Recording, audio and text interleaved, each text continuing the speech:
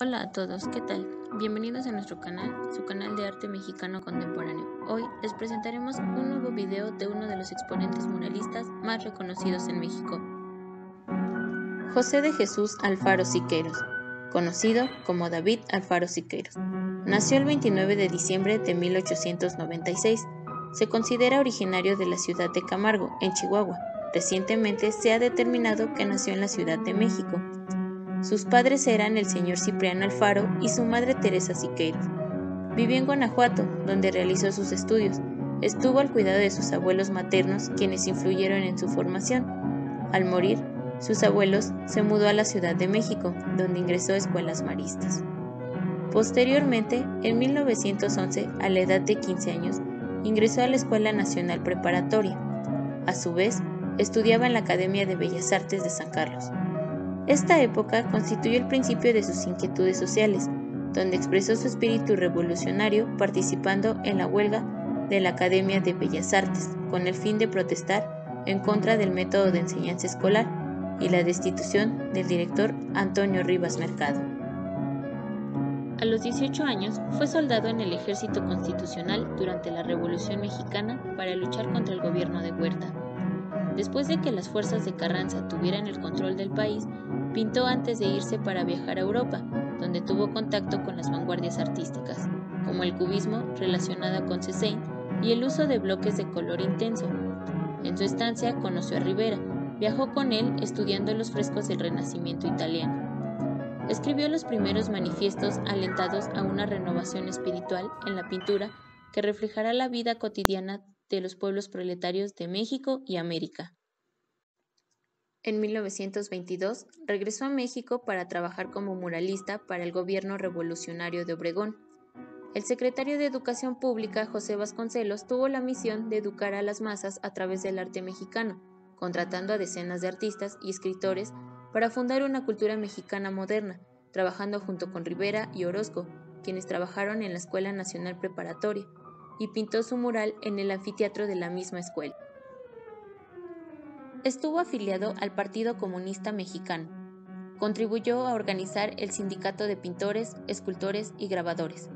Uno de sus objetivos era la búsqueda de hacer prevalecer la pintura muralista y la necesidad de un arte colectivo con el fin de educar a las masas y derrotar a los burgueses. A principios de los años 30 estuvo preso varias ocasiones, una de estas se debió por organizar una conspiración para asesinar a Trotsky. Estuvo encarcelado en el Palacio de Lecumberri, hoy conocido como el Archivo General de la Nación. Produjo una serie de litografías de tema político, la mayoría están expuestas en Estados Unidos. Poco después viajó por Latinoamérica y Estados Unidos, en donde estuvo en Nueva York. Participó en la exposición de la Galería Weig titulada Arte Gráfico Mexicano. Pintó murales en Los Ángeles en 1932.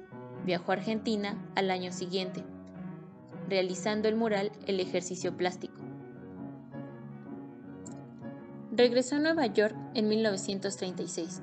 Estableció un taller experimental de arte político en preparación de la huelga general de 1936 por la paz y el desfile de May Day.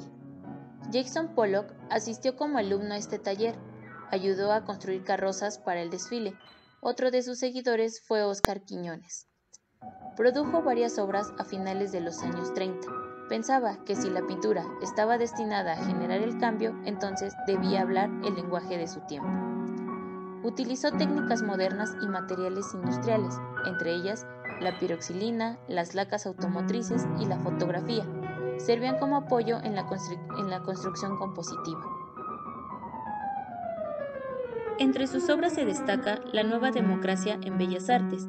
Otra de sus obras se llama Por una seguridad social y para todos los mexicanos. Esta se localiza en el Hospital La Raza.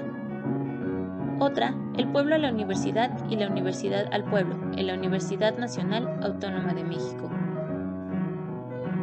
Analizaremos la siguiente obra titulada Del porfirismo a la revolución. Es una pintura abstracta e histórica, la técnica que se empleó fue acrílico y piroxilina sobre madera forrada de tela. Se localiza en una de las salas del castillo de Chapultepec.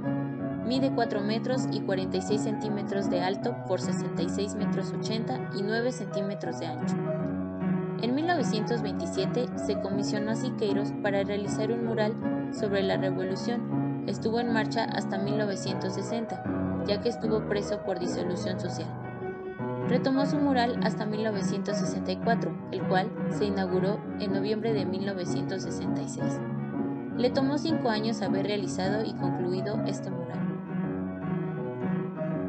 Los personajes que aparecen en este mural están ordenados en la forma en que van apareciendo en la historia de México. Quiere decir que van de acuerdo a los hechos que ocurrieron durante este periodo. Personajes relevantes como Porfirio Díaz, Manuel Diegues, Marx, Bakunin, Proudhon, Ricardo Flores Magón, Francisco y Madero, Emiliano Zapata, José María Pino Suárez, Venustiano Carranza, Felipe Ángeles, Álvaro Obregón, Plutarco Elias Calles y Luis Arenal. Primero, ubicamos a Porfirio Díaz rodeado de rocas que alude a su larga permanencia en el poder. Después, nuevamente, está Porfirio Díaz representando el régimen que encabezaba. Se encuentra sentado en la silla presidencial viendo el baile de las triples de la época, un baile popular. Su pie izquierdo pisa la Constitución de 1857. A sus costados está Victoriano Huerta y José Ives representando el poder político y militar. Alrededor del mismo Díaz se encuentra su gabinete de científicos, burgueses y aristócratas de la época que al parecer lo aconseja. Esta parte también representa la decadencia del porfirismo que sostuvo por más de 30 años. En la siguiente parte se representa la Revolución Mexicana, pero primero muestra a los rurales y a los rangers norteamericanos que reprimen a los mineros y líderes de la huelga de la fábrica de Cananea. Se ubica del centro hacia la izquierda los sombreros del gabinete de Díaz, quienes se pierden con los rurales. Estos ayudaron a Green en las revueltas. William Green y Fernando Palomares, miembro del Partido Liberal Mexicano, luchan por la bandera mexicana. El pueblo está apoyando a su propia gente y al personaje principal, que es Palomares. Detrás de este se encuentra a dos personas cargando el cuerpo de una víctima de la represión ocasionada por la huelga. Entre los rurales aparece Rafael Izabal, quien fue el principal opresor de la lucha y gobernador de Sonora. Se ubica Filiberto Barroso, presidente municipal de Cananea, como también aparecen algunos líderes como Francisco Ibarra y Manuel Diegues, a cuyas órdenes estuvo Siqueiros durante el levantamiento armado. Debajo de la bandera rojinegra, en señal de huelga, aparecen los ideólogos y políticos iniciadores de la revolución, como está Marx, con un libro rojo en la mano creador del socialismo científico, Bakunin, quien representa el anarquismo, Proudhon, quien representa el socialismo utópico, y Ricardo Flores Magón, uno de los pensadores que promovieron la transformación social, el cual es miembro del Partido Liberal Mexicano. En la siguiente parte está el pueblo en armas o fuerzas populares, acompañado por Francisco I. Madero, Aquiles Cerdán, José María Pino Suárez, Otilio Montaño, Venustiano Carranza, Emiliano y Eufemio Zapata, Felipe Ángeles, Álvaro Obregón y Plutarco Elias Calles, como también Francisco Villa, entre otros. Las mujeres que se encuentran en el lado derecho son Margarita y Rosaura Ortega, participantes del Partido Liberal Mexicano. Por último, de izquierda hacia el centro hay una hilera de cadáveres que manifiesta el costo en vidas del movimiento armado y representan las vías del ferrocarril encabezadas por Luis Arenal, montado en un caballo, el cual fue suegro de Siqueiros y una víctima más entre el número de muertos de la revolución Ahí mismo se refleja el futuro del país, es decir, una interrogación como ¿qué es lo que le espera al país después de este movimiento? Finalmente, Siqueiros fue uno de los artistas más importantes del siglo XX, patriota que buscó siempre defender y beneficiar a las clases más desheredadas del país, reflejada en la mayoría de sus murales. Murió en Cuernavaca el 6 de enero de 1974.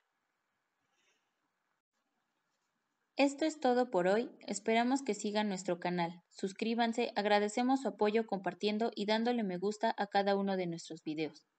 Hasta la próxima.